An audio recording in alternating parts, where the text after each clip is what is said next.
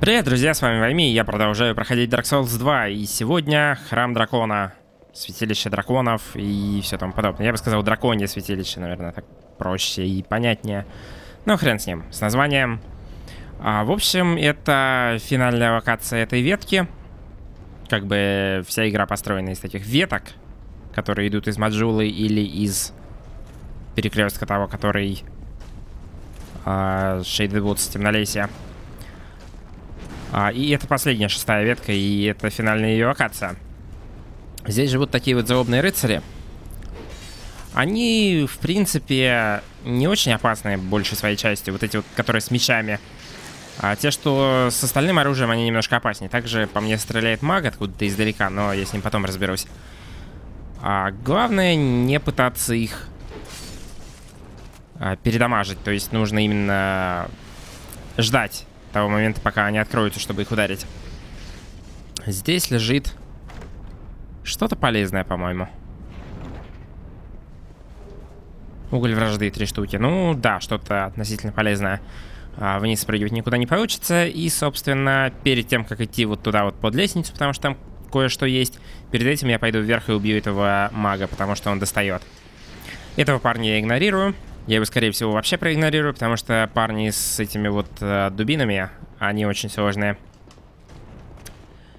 Этого парня, который сейчас сзади меня, я тоже игнорирую временно. Он за мной пойдет, конечно, но мне сейчас интереснее маг. Маг стреляет какими-то мелкими электрическими фаерболами, которые взрываются с очень большим АУЕ. Так что аккуратнее с этим. Дамага там не очень много, но АУЕ большое. Мерцающий камень пригодится. И теперь уже я разберусь с этим парнем, если он останется здесь. Окей. Тогда я не буду с ним разбираться. А, но здесь стоит сундук тем временем. Это не мимик. И это даже сундук не с ловушкой. И в нем всего лишь мерцающий титанит. Ничего особенно интересного. И теперь я вернусь туда, где я пропустил под лестницей проход, потому что там есть что-то. Я надеюсь, они меня не будут преследовать прямо туда. Потому что иначе все будет очень плохо. Потому что парень с дубиной страшный, но... Он будет меня преследовать. Нет? Нет. Он развернется и пойдет назад. Хорошо. Под лестницей здесь есть село для камня Фароса, который откроет мне проход куда-то. Конкретно он мне откроет проход сюда, и здесь сундук, и в нем, по-моему, посох мудрости. Да, посох мудрости и сет правосудия. Сет правосудия это сет а, клириков из первой части. Не клириков, а... Ну и не только из первой части. Вот этих вот парней, в общем, которые грехи отпускают, как они там называются. А, ну, в общем-то, он примерно такой же, как и в первой части. По виду. Ничем особенно не отличается. Где его перчатки? Вот они. И сапоги. Мантия служителя древней богини, говорят, эта богиня благоволила грешникам, но ее имя уже давно забыто. Сейчас уже трудно сказать, в каких обрядах могла применяться эта мантия. Известно только, что ее носил человек, облеченный властью. Окей. А, никаких особых свойств, насколько мне известно. Да. Но у другой, у, вся... у другой всякой хрени есть разные свойства, которые у меня имеются. А, ну, хрен, в общем, с, с этой броней. Она мне пока что не очень интересна. Ну и не только пока что, а в принципе, наверное. Так вот, парень с булавой вот этот вот. В чем проблема с ним? Ну, сейчас с ним проблема в том, что рядом с ним еще и мечник, но вообще проблема с ним в том, что у него не кончается стамина, и он не перестает бить своими комбами. Я не знаю, когда его можно ударить, чтобы не получить в ответ этой дубиной по лбу. Так что я предпочитаю его вообще не бить, а игнорить. То есть он очень активно спамит комбы. К счастью, их здесь всего два, таких парней с дубинами. И первого можно проигнорить, потому что он здесь. Второго можно расстрелять издалека, потому что он вот там. То есть его можно отсюда расстрелять ядовитыми стрелами. Ну и, наверное, копье молнии будет достаточно эффективно против них. А, но я предпочту ядовитые стрелы пока что. Промах. 147. 146. Это один из тех моментов, когда мне очень хочется играть на клавиатуре и мыши, которые, естественно, нету для консоли. А, потому что прицеливание с помощью геймпада из лука это не очень да, удобная вещь. Ну да ладно. Также я могу перепрыгнуть вот туда. И взять вот этот сундук, который здесь спрятан. Тот парень умрет от яда, скорее всего. Если нет, то я его добью без проблем. Копьем или выстрелом. А здесь большой топор драконьего стража и большой щит драконьего стража. И мне нужно посмотреть на посох мудрости, который я нашел. Посох мудрости. Ну и топор тоже, наверное. Большой топор драконьего стража. Невероятно прочный, черный, как смоль топор. Исполинские воины давно денно и ночно хранят покой обитателей храма, пуская внутрь лишь достойных этой чести. А это вот алибарда сианская, она переведена как алибарда драконьего стража, хотя она ею не является. И, по-моему, даже нету вообще алибарды драконьего стража. М -м, по крайней мере, нету самих этих стражей с алибардами. Дальше. А, посох мудрости. Посох из погибшего Алафиса. Усиливает действие волшебства. Не может использоваться для наведения порчи. Кристалл в навершие увеличивает силу заклинаний. И без того хороший посох усилен кристаллом, источающим мощную магию. Это лучший посох для магов. Для интеллекта. У него S-скейлинг, но он не может использоваться для тьмы. И он получается лучше всего, если у вас... Если заточить его в магию, прокачать до плюс 5, по-моему, он всего качается. И иметь 50 интеллекта. Все остальное хуже. И немножко хуже получается обмазанный э, Crystal Magic Weapon Blue Flame. Все остальное получается еще хуже. После Хамана, по-моему, на третьем месте, который а, в человеческой форме имеет больше статов. По-моему, так. И большой щит драконьего стража. Невероятно прочный, черный, как смоль, большой щит. А, и все то же самое.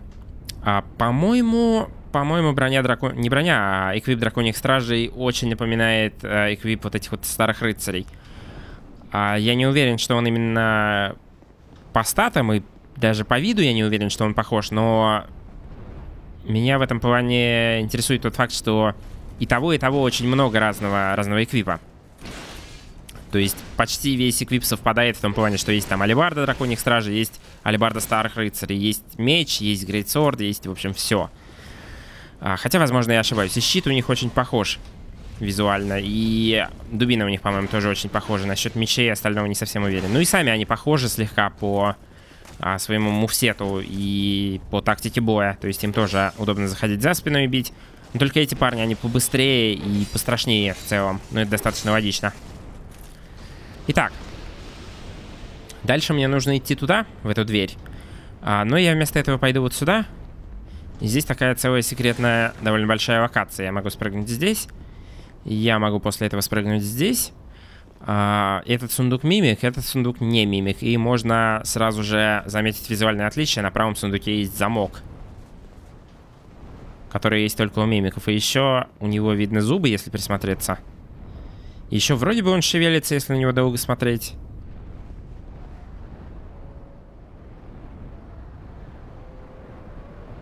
Вроде нет.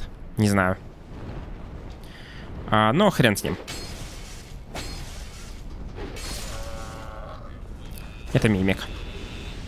Катана, окаменевшая кость дракона. Катана это Washing Pole. Я не знаю, почему ее перевели как просто катану. А, наверное, потому что у переводчиков мозги не там, где надо. А, но это катана неизвестного происхождения. При ее создании использовалась необычная, но безупречная техника. Невероятно длинное лезвие позволяет наносить удары с огромного расстояния, но необычная конструкция оружия делает его очень хрупким. Это та самая очень-очень длинная катана.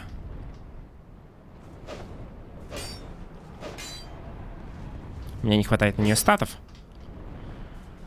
А, но тем не менее. И что у нее по самим статам? B-скейлинг от ловкости, то есть у нее достаточно неплохой скейлинг и 120 базовый урон, что хуже большинства других катан. Хотя все равно лучше Даркдрифта. Ну да ладно. И во втором сундуке здесь... Кусок титанита. Что еще в сундуке с катаной было? Душа какая-то? Или какое-то оружие? Или какой-то щит? Костяной щит у меня, кстати, откуда-то. Щит служителя Ауди. Ну, наверное, у меня оттуда. Изготовлен из черепа какого-то существа, погибшего в ходе экспериментов. Загадочный Лорд Ауди держал в своем поместье гигантов и даже пытался воссоздать дракона, но о нем самом уже давно ничего не было слышно.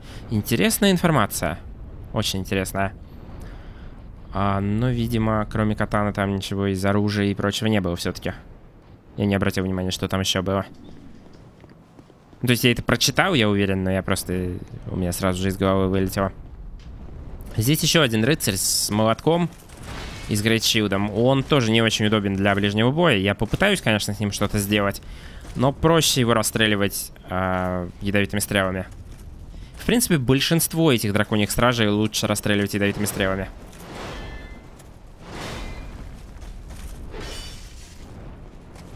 Потому что они очень дамаговые и достаточно быстрые.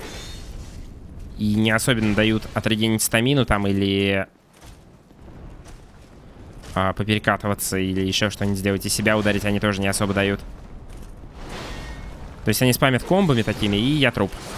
Потому что комбо. То есть он один раз в меня попал, стан, и пока я пытался увернуться, он у меня еще раз попал. То есть до того, как я смог увернуться. Но что поделать.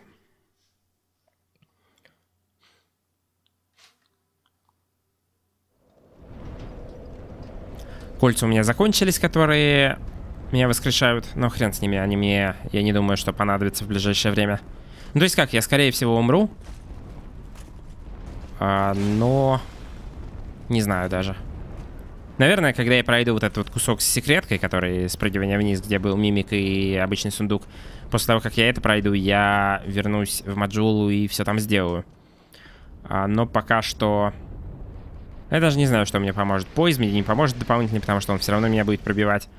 26 поиза на них не хватит. А, души, дроп, не знаю.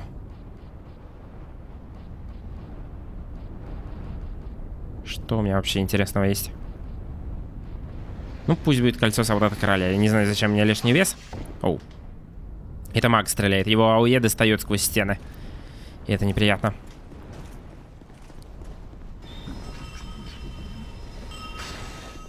Маг этот дропает свою броню иногда.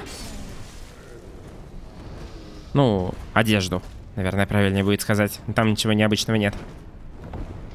А драконьи стражи дропают свой эквип, свои, свое оружие, свои щиты. По-моему, их броня где-то в сундуке лежит. По-моему, не уверен на 100%. Возможно, они ее дропают также. Ну, если, если она лежит где-то в сундуке, то мы ее найдем. Если нет, то значит они ее дропают. Итак, ядовитая стрела, ядовитая стрела. Опс. Опс. Но он сюда не может пройти, так что здесь я в безопасности.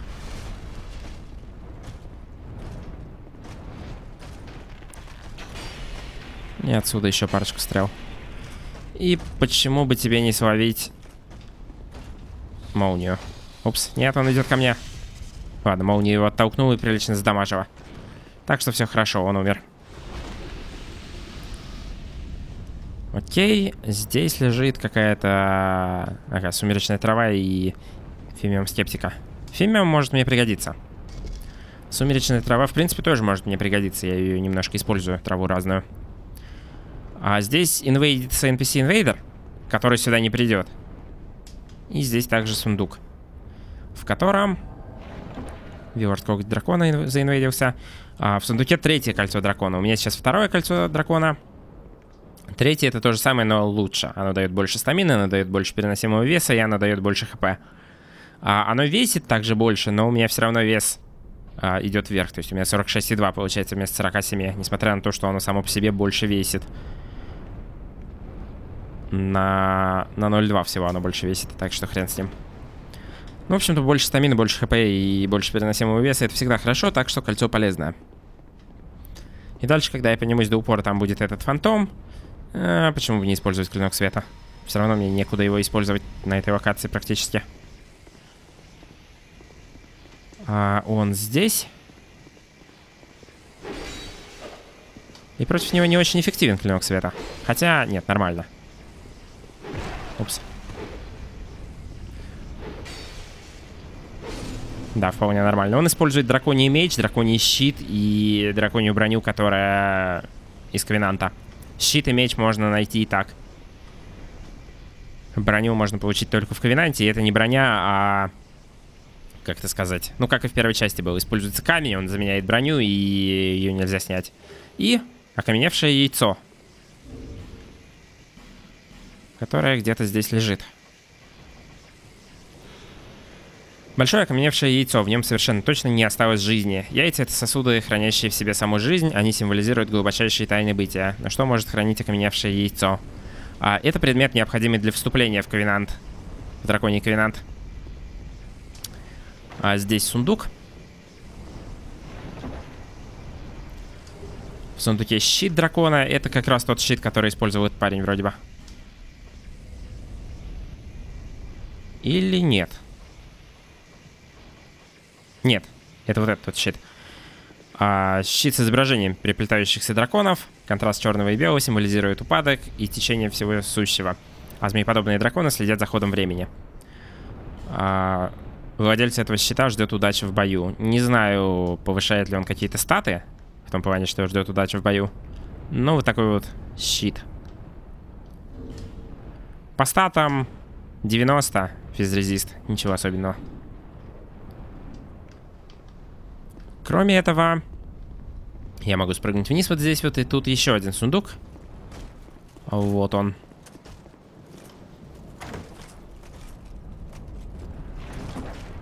И в этом сундуке кристальное волшебное оружие. Заклинание. Полезная вещь. И теперь я пойду в Маджулу, потрачу свои души, починю свои кольца, в общем, всю такую вот фигню сделаю. И кроме этого я хочу пойти и вступить в Драконий Квинант, потому что я не знаю, почему бы в него не вступить. Я, по-моему, почти во все Квинанты уже вступил. Надо, кстати, уточнить, во все ли я Квинанты вступил, и вступить в те, в которые я еще не вступил. Было бы неплохо. И почитать описание их колец. Окей, для начала стоит починить кольца, потому что потом может не хватить денег на это. Ну, душ, естественно. Окей. Теперь, я хотел это вообще сделать между эпизодами, но как-то забыл. Сожрать все души. Ну, по крайней мере, вот эти вот. Великого героя дают по 20 тысяч, очень неплохо. Отважного воина, по-моему, 10 тысяч. Нет, 8 тысяч. А обычный отважного воина 5000. Ну, соответственно, 10, потому что их две. И остальные нафиг, они уже совсем мелкие. Да-да, ты всегда будешь на моей стороне. Новый уровень. А Вера? Что еще мне остается? 42, по-моему, нужно на большие копья. Сколько у меня фимемов? Один? Один. Ладно. Хрен с ним. Чтобы вступить в Драконий Ковенант, нужно пойти в Железную Цитадель, как ни странно.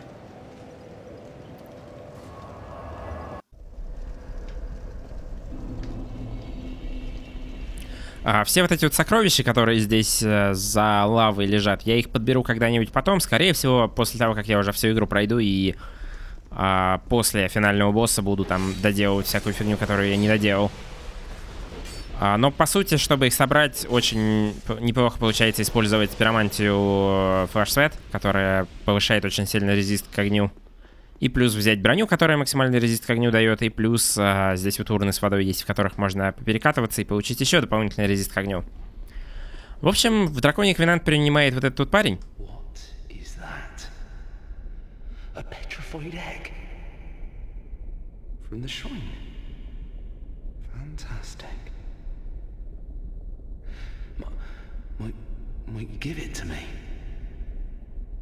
Fascinated by it. I'm begging you. Если с ним не согласиться, то он откажется с вами торговать, в принципе. Ну, пока вы не, не согласитесь. То есть он каждый раз будет этот диалог давать. Насколько я помню.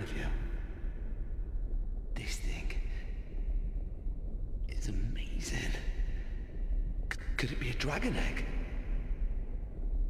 I feel invigorated just by holding it. What, you again?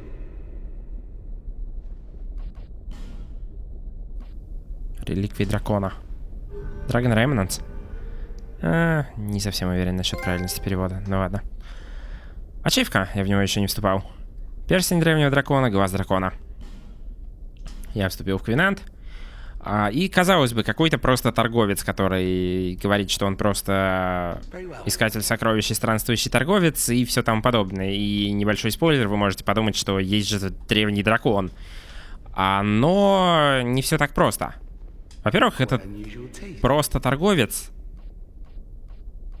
может делать вот это вот. Он может взять вашу магию и сделать ее проще для вас.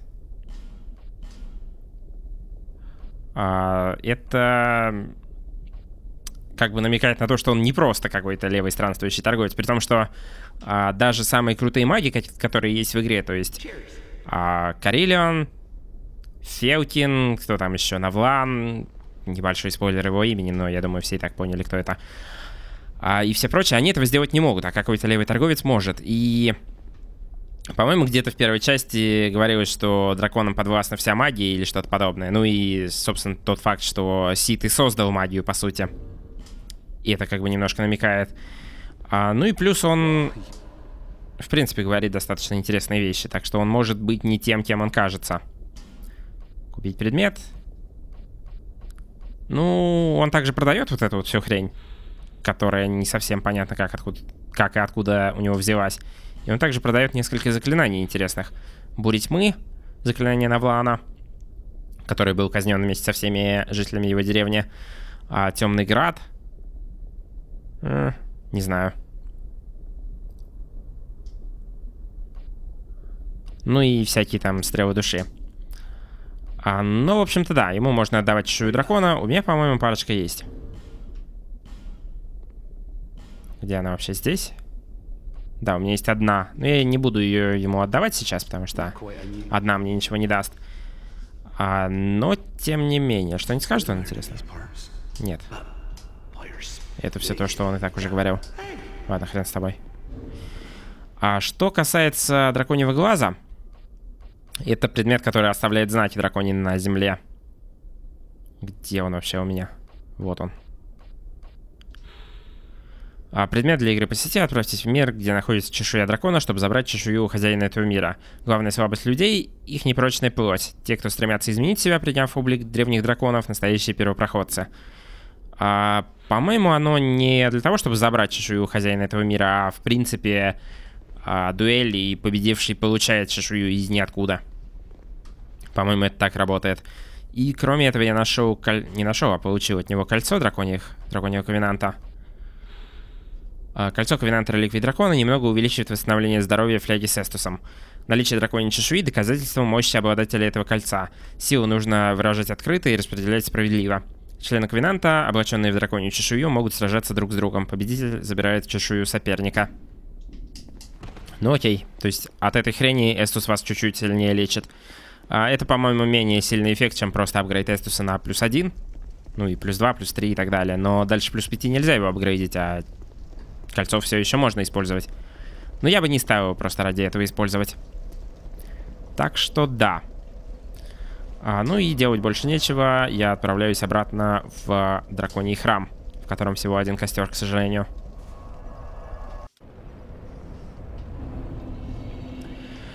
Я бы не отказался, в принципе, от второго костра на этой локации. Где-то после тех... После того места, до которого я дошел, за той дверью, которую, в которую я сейчас пойду. Потому что вот это вот достает проходить каждый раз. Локация, в принципе, короткая, но она сложная. И поэтому она долгая. Ну да ладно. Большинство врагов можно игнорировать. В принципе, почти всех врагов можно игнорировать. Я ненавижу этого мага с его этими читерскими, бьющими сквозь стену электрическими фаерболами. Поэтому я его убью нафиг. Вот эти вот два врага это единственные, кого нельзя игнорировать, потому что они а, ну, их можно, конечно, но сложно, потому что там дверь надо открывать. И она закрывается каждый раз, когда вы отдыхаете, ну, когда вы умираете, скажем так. Когда загрузка случается, которая обычно при смерти. Да, блин. Ну, теперь в него 5 понадобится, скорее всего. Нет, надо же, его и так отравило.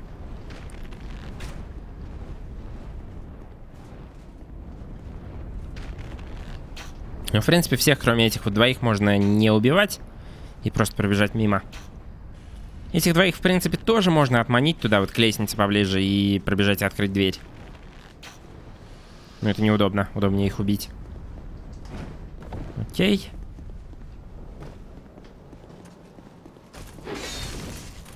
И окей. И никакого дропа. И мне надо кольцо, кстати, взять, а то... А то умру еще.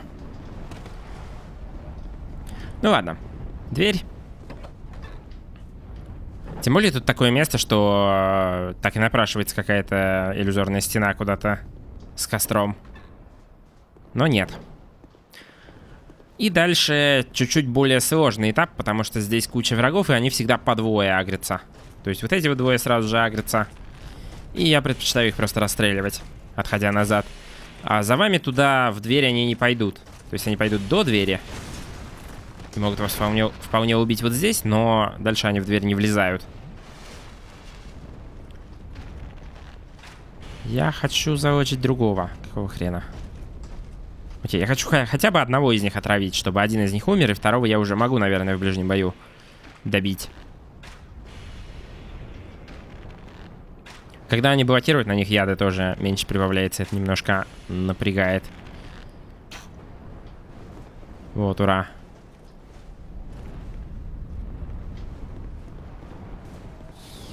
Ну, он умрет и так, конечно.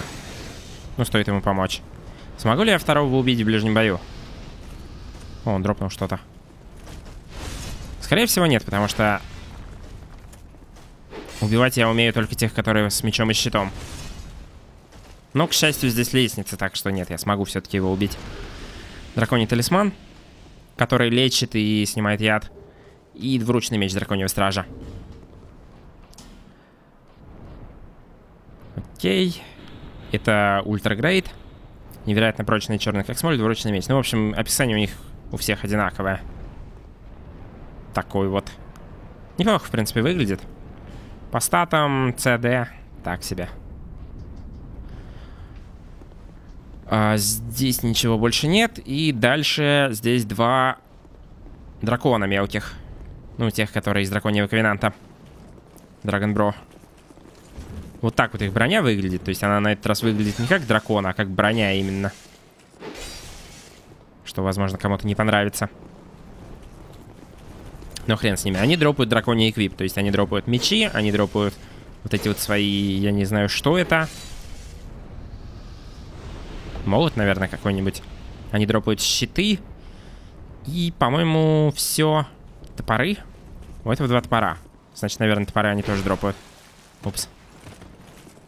В общем, они дропают то, что у них в руках.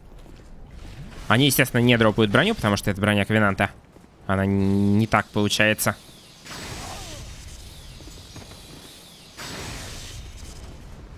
И они в целом довольно легко убиваются, если не промахиваться вот так. То есть, по сути, вы просто ждете, пока он к вам подбежит, и дальше становитесь его насмерть.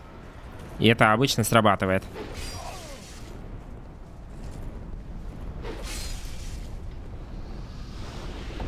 В двух руках, наверное, это будет эффективнее срабатывать. Дальше еще два рыцаря. Драконих стража. А эти, по-моему, снова с молотками и щитами.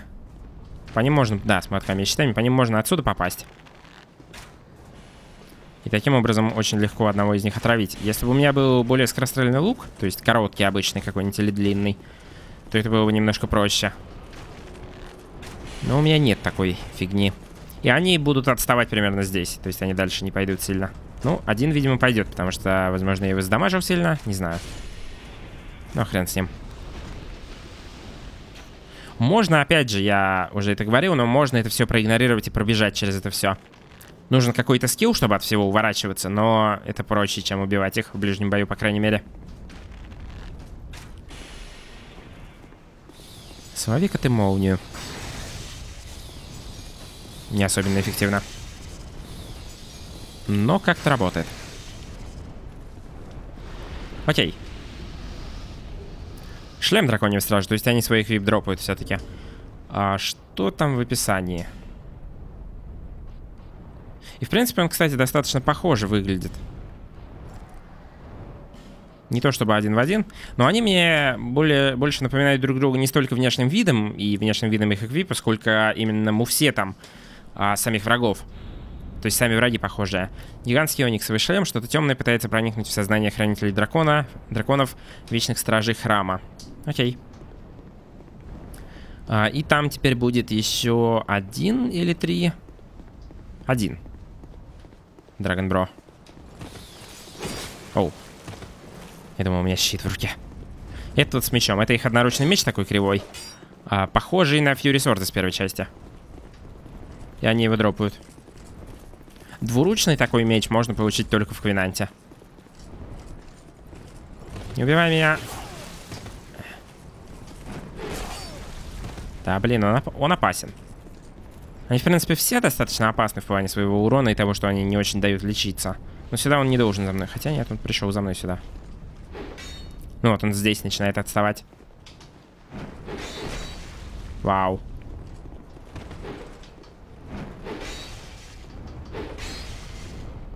Окей. Солови-ка ты молнию.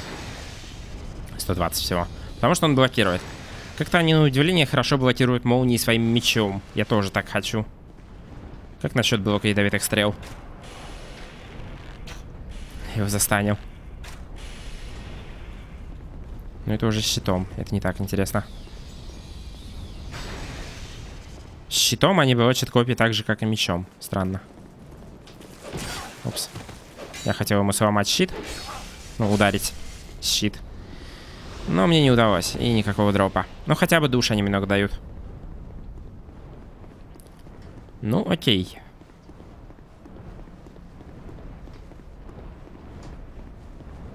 Здесь больше ничего нет. Что, наверное, вполне нормально. И дальше впереди кое-что есть. Такой вот немаленький дракон.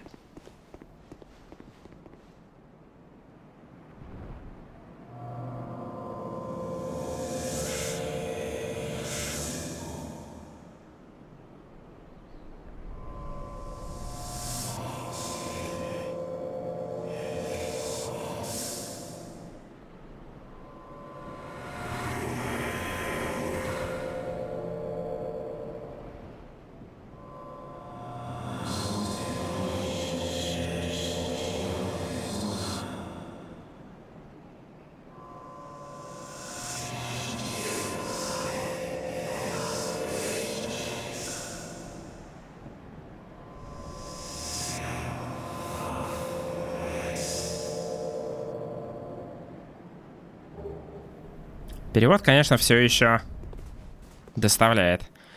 Ну да ладно. Кроме этого он ничего не скажет. Сердце пепельного тумана. А, оно в ключах, насколько я помню. Да. Погружает в воспоминания усопших. Проявление пепельного тумана, полученное от древнего дракона. Магия древнего дракона позволяет погрузиться в воспоминания усопших.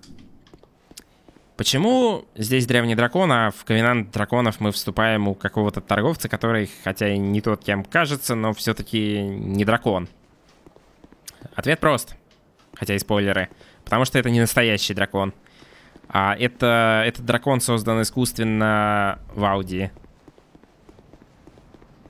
Путем их эксп экспериментов всяких. И я потом, ну, скорее всего, даже сейчас я получу более подробное подтверждение этого всего. А, но для этого мне нужно отсюда свалить. Дракон является опциональным боссом. Он является самым сложным и самым читерским боссом в игре. Не знаю, какое, каким словом его правильно описать. В общем, он вызывает кучу ненависти и... По сути, это самый хреновый босс в игре в плане геймдизайна, на мой взгляд. Потому что он не сложный, но у него ваншоты. То есть у него там 3-4 атаки, которые все ваншотят, и одна из них ваншотит половину арены.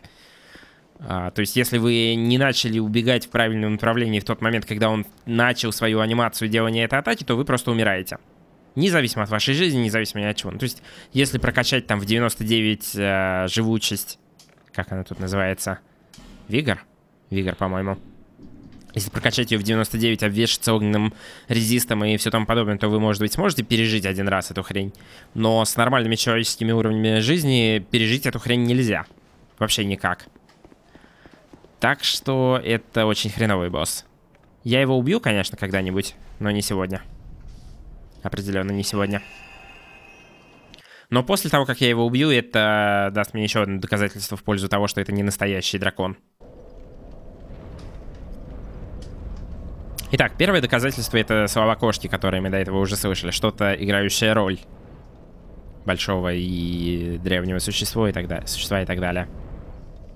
Это было в предыдущем, позапрошлом эпизоде, не помню. Когда-то это было. Что кошка скажет теперь, мне интересно.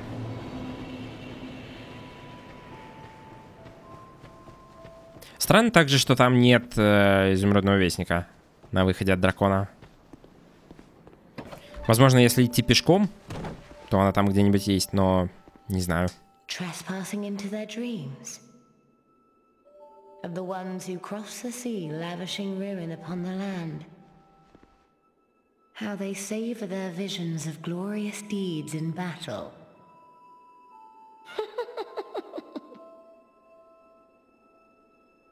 Кошка намекает на то, что нужно сделать дальше. Заглянуть в сны тех, кто перешел море, чтобы разрушить здесь все. А кто перешел море? Гиганты перешли море, об этом говорит Милентия в самом начале. Так что с помощью вот этого вот предмета, сердце пепельного тумана, мы можем проникнуть в воспоминания усопших, и, соответственно, есть несколько трупов гигантов, в лесу падших гигантов. А кроме этого, я хочу пойти и поговорить с королевой. Да, сюда. Туплю немножко. Окей. Это последний разговор с королевой, потому что после следующего сюжетного события она просто отсюда пропадет. То есть ее здесь не будет. Ну да ладно. Brave undead. What did that dragon tell you? That thing is a prop. A false deity. Don't be fooled, my undead. Мнимое божество. Seek the forest, you, where those wretched giants slumber. Seek. Окей. И она нас отправляет туда же, в лес. Ну и, собственно, лес — это то, куда я пойду в следующий раз.